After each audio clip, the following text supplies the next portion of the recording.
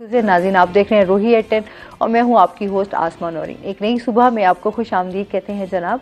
और वीकेंड कैसा रहा आपका? यकीन आपका वीकेंड भी अच्छा रहा होगा। और मंडे का जो दिन होता है, उसके बाद आपकी तमाम दोबारा से काम जो है वो स्टार्ट होते हैं। वीकेंड के बाद जो है आपकी सारी जिम्मेदारियाँ, काम से रिलेटेड अभी स्कूल भी जो है, वो भी खुल रहे हैं। बच्चों की छुट्टियाँ भी ख़त्म हो गई हैं। काफ़ी इंजॉय भी किया। लेकिन आज हमारे साथ गेस्ट भी मौजूद हैं।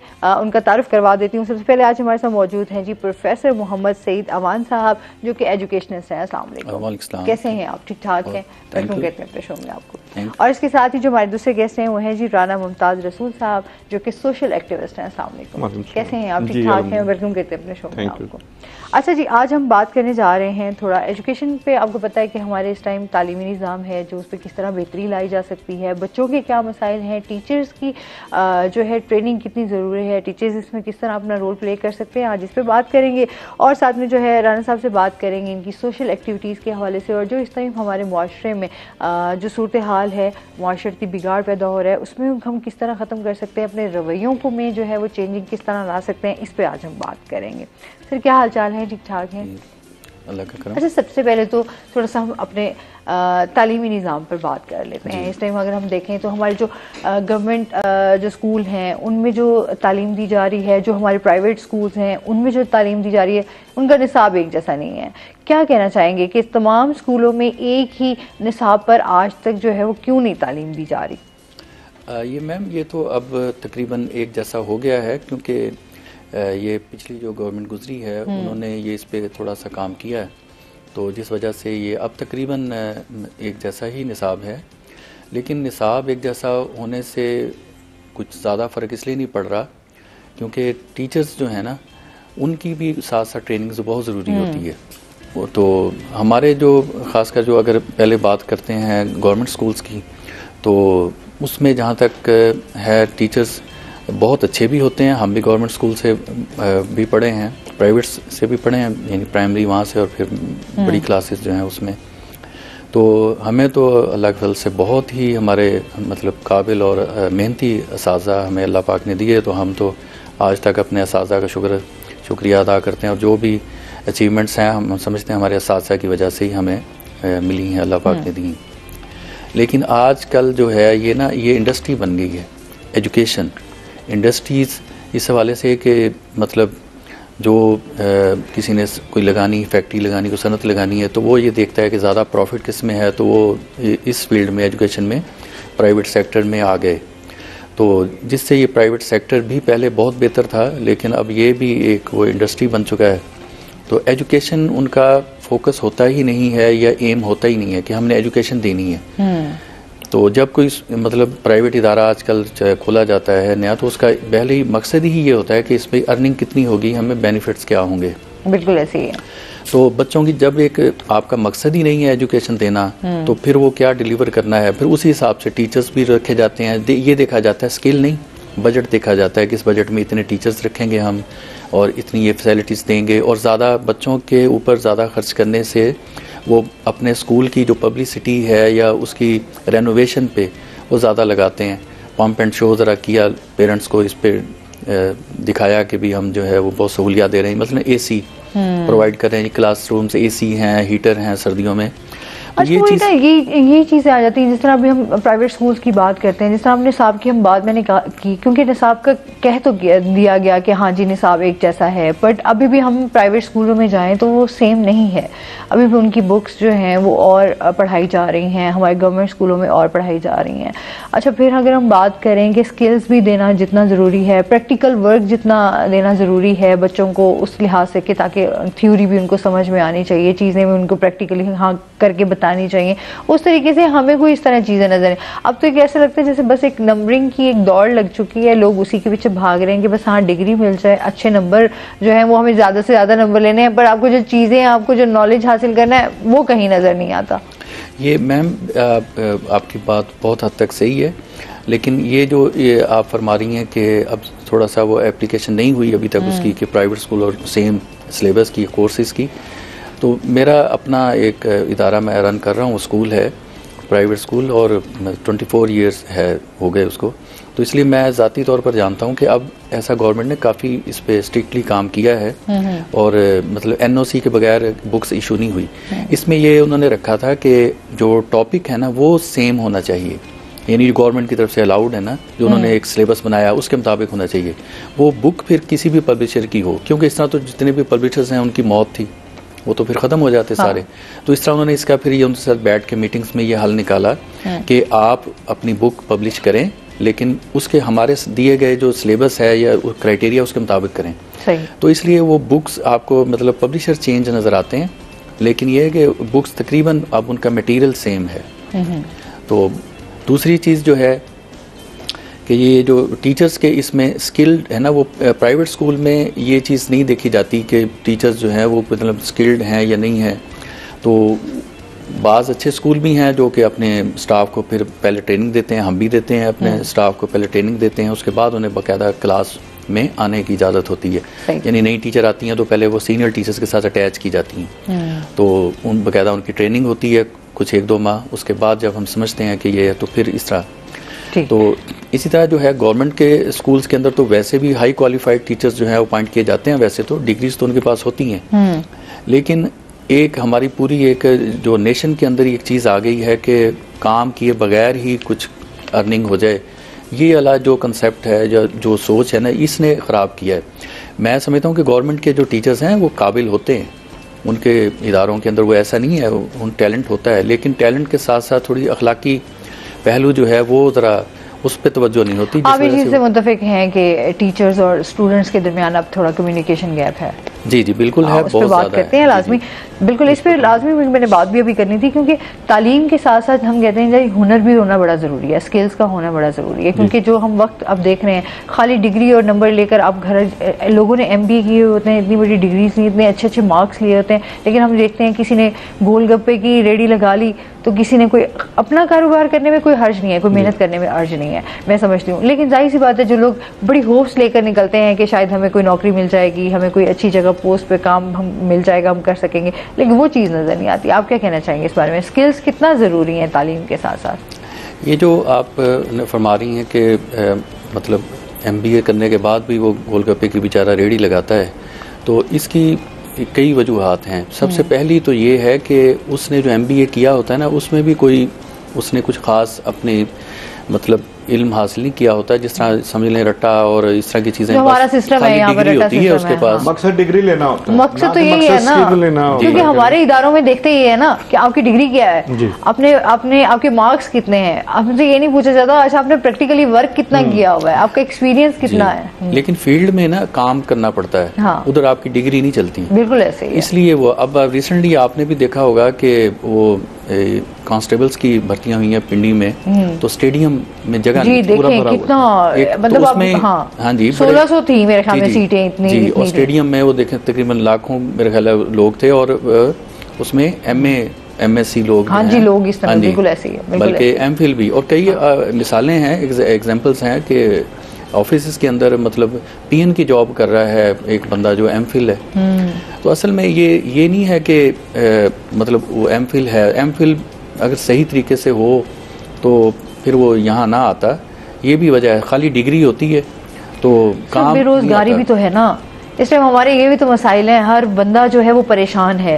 ज़ाहिर सी बात है एक अगर किसी ने घर के ऊपर जिम्मेदारियाँ हैं कोई घर के ऊपर एक बंदे को ज़ाहिर सी उसने अपने घर को भी देखना है उसने अपनी जिम्मेदारियों को भी देखना है उसने ये भी करना है अच्छा चले कहीं नौकरी मिलती है। हम लोग तो अब ये कोशिश कर रहे थे अच्छा दस हज़ार की भी कहीं नौकरी मिलती है तो बस ठीक है कर लो। यही है ना इदारों के तो हम लोगों के। तो अब ये जो स्टेडियम भरा है वो सिर्फ़ इसी चक्कर में था कि अच्छा शायद हमारी कहीं लग जाए। एक उम्मीद एक अच्छा इस पर मजीद हम बात करते हैं। नाजिर अभी हमने जाना ब्रेक पे हमारे साथ रहिएगा।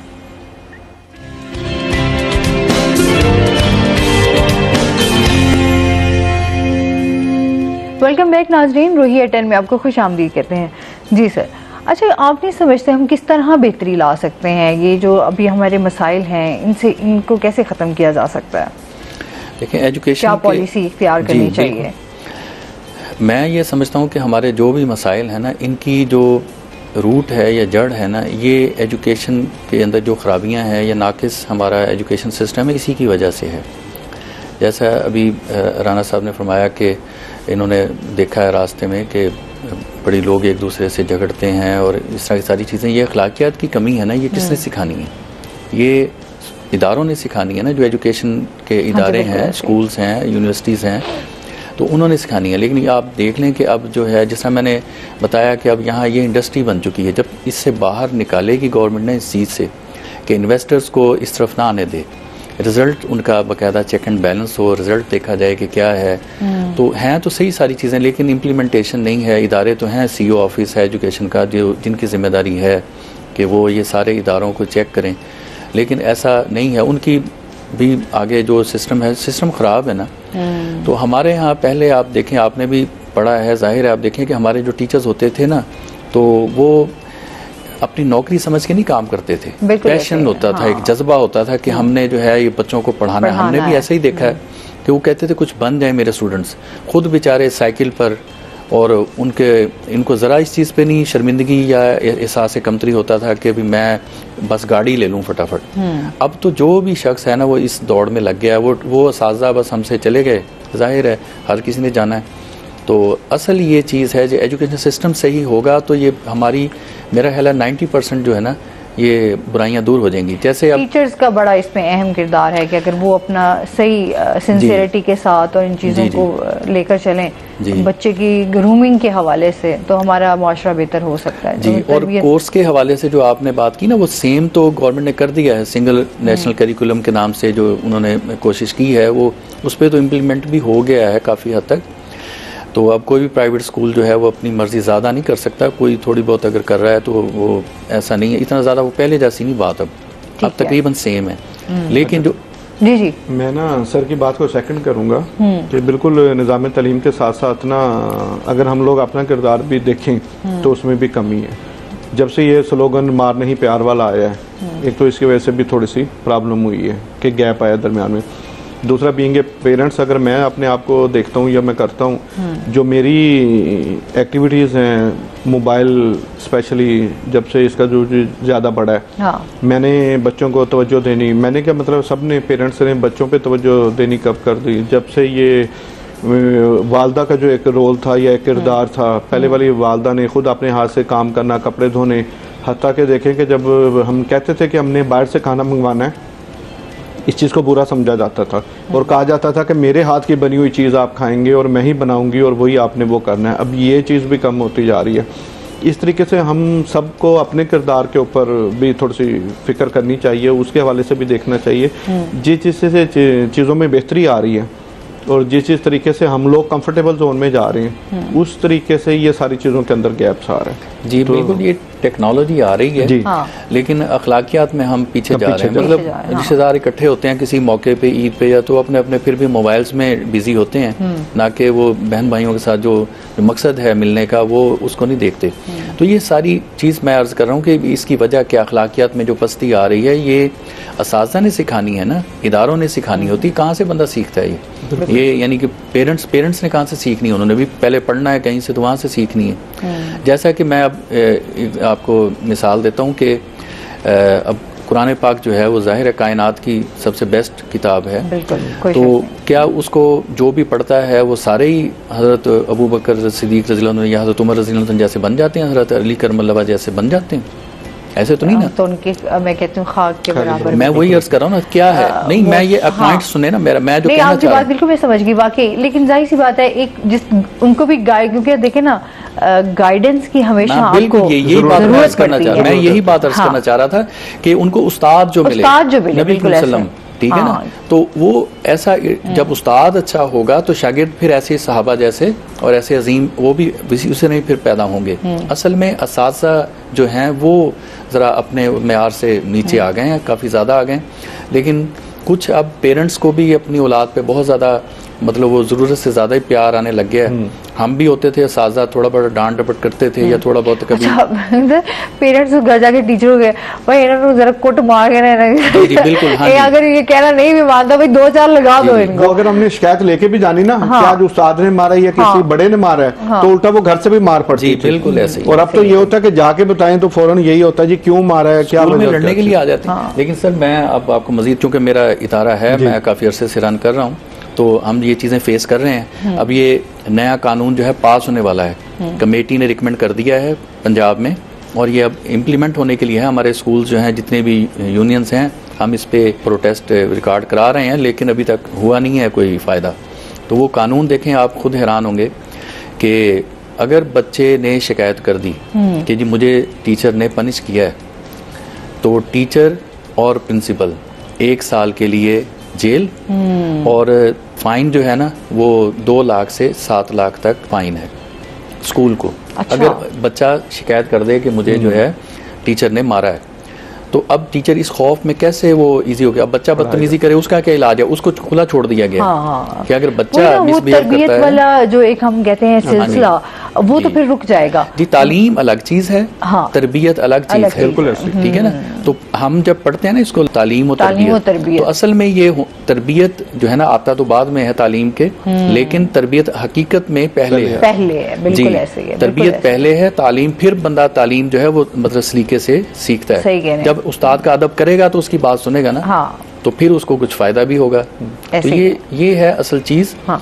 कि हमारे जो है इस को अपना उसी किरदार पे वापस आना पड़ेगा जिस तरह पहले इस होते थे यानी डिवोटेड होते थे वो अपने हम्म। अपने पेशे के साथ वो उसको पेशा या ऐसे कारोबार या रोज़गार का ज़रिया नहीं समझते थे। शौक हम्म। अभी लोगों में सिर्फ़ एक कारोबार एक माइंड एक बिज़नेस की तरफ़ लोग बिल्कुल, चले वो गई तालीम को भी उन्होंने बिज़नेस में ही ही। ले लिया है कि हमने किस तरह कमाना है किस तरह से लोगों को अ, जो है तालीम तरबियत हमारी जो है बस एक तालीम के हद तक हमें कि अच्छा बस हमने पासिंग मार्क्स ले लें या नंबर ले लें या डिग्री ले लें बस इस तक महदूद रह गए।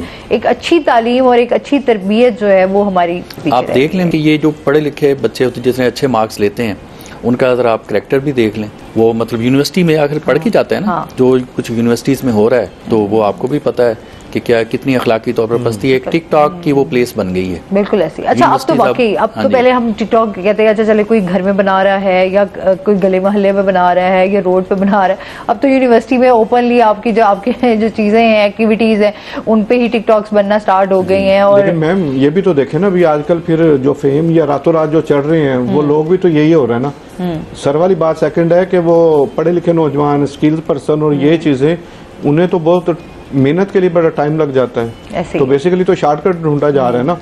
लोग शॉर्टकट ज़्यादा पसंद करते हैं कि अच्छा जितना आसानी से मिल जाए जितना आसानी अब एक नौजवान जाता है वो इंटरव्यू देता है तो उसको कहा जाता है कि आपको तीस हज़ार रुपया सैलरी दी जाएगी। हम्म। उस बच्चे का जहन और उसका कॉन्सेप्ट ये बना हुआ कि मैंने तो तीस वाली नहीं मैं तो जाऊँगा लाख रुपए के भी या इसके ऊपर। हम्म। अब ये देखे ना हमने अगर सर से पूछें कि सर ने स्टार्ट लिया था तो कितनी सैलरी पे लिया था? मैंने अगर जॉब स्टार्ट की थी तो मैंने कितनी एक छोटा सा है कि मैं जब एक प्राइवेट फ्रेंचाइज पे गया हूँ कि मैंने काम करना और ये चीज़ उन्होंने शापर के अंदर पाँच डब्बे डाल के मुझे दे दिए कि आप मार्केट जाएँ और इसको सेल आउट करके आएँ। अब मैं कहूँ मैंने एमबीए किया हुआ है और मैं ये वाला काम करूँ और ये चीज़ लेकिन मैं गया हूँ और मैंने किया हूँ। आप आज किसी को ये देखे देखे वेबसाइट वो कहेगा मैं इतना पढ़ा लिख किस लिए हूँ? मैंने ये लाखों रुपये तलीम पे किस लिए लगाया हम अपनी अपनी बुक्स में पढ़ते होते हैं ना हम आदमी जखायर से माला माल हैं हमारे यहाँ पर हमारा वाकई इसमें कोई कमी नहीं हमारे तो हर अल्हम्दुलिल्लाह बहुत पाकिस्तान के हवाले से हम देखें अल्लाह की नियमतें हैं लेकिन हम लोगों में आज भी वही देखते हैं कि हम बहुत पीछे हैं। एक्सपोर्ट की तरफ़ से तो हमारा बिल्कुल ही अब ऐसा लगता है कुछ भी नहीं है हम बस अपने यहाँ की खाने पीने की अशिया भी हम बाहर से मंगवा रहे होते हैं हमारा जितना नौजवान है इंडिया जैसा मुल्क 200 अरब डॉलर आईटी से कमा रहा है। बिल्कुल ऐसे और हमारा ये टारगेट है कि हमने इस साल के एंड तक हमने पाँच अरब से दस अरब के ऊपर हमने जाना है। हम अभी दो अरब रुपए की ये कर रहे हैं। मतलब इंफॉर्मेशन टेक्नोलॉजी है इसके अंदर बहुत सारा स्कोप है। यंग लोगों को आना चाहिए इसके ऊपर भी काम करना चाहिए इन चीज़ों के ऊपर भी होना चाहिए। बरामदात बढ़ेंगी तो डेफिनेटली हमारे मुल्क के भी बेहतर बिल्कुल जो इस टाइम हमारी मीशत का हाल है उसमें भी उसमें भी अब गवर्नमेंट ने जो थोड़ा सा इनिशिएटिव लिया था लोगों को अवेयरनेस दी है कि आप आईटी की तरफ़ आएँ। लेकिन आपको पता है ना कि ये अमेजोन के ऊपर जब उन्होंने यहाँ शुरू किया तो ये इन्होंने जो हमारे जो हैं, लोग उन्होंने फ्रॉड किए हैं अमेजोन पे और चीचा बतनी और वाल ब्लॉक कर दिया अमेजोन ने। तो ये मतलब ये जब चीज़ें भी हमारे चीज़ है करेक्टर जब तक हमारी तरबियत तरबियत नहीं होगी। तो हम चीज़ों को हाँ खुद ही- सिंसियरिटी के साथ अगर हम अपने काम को नहीं देखेंगे ना तो हम लोग कामयाब नहीं हो सकते। सर बहुत शुक्रिया। टाइम हुआ बहुत शॉर्ट है क्योंकि टॉपिक ऐसा था इसमें बहुत एक लंबी और गुफ्तगू हो सकती थी। बहुत शुक्रिया बहुत अच्छा लगा आप हमारे शो का हिस्सा बने। रन साहब आपका भी बहुत शुक्रिया। और इसके साथ ही नाजीन आज का शो यहीं पे खत्म हुआ। अपना बहुत सारा ख्याल रखिएगा दुआओं में याद रखिएगा। इंशाल्लाह ज़िंदगी ने साथ दिया। तो सुबह आपसे फिर मुलाकात होगी। अल्लाह हाफिज़।